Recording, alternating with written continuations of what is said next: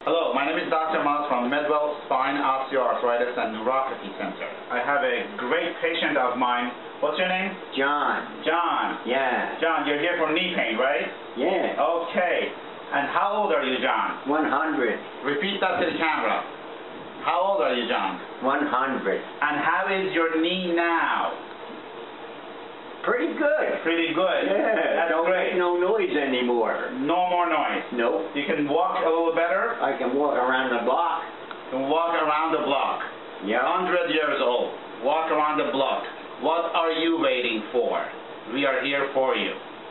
Thank you very much.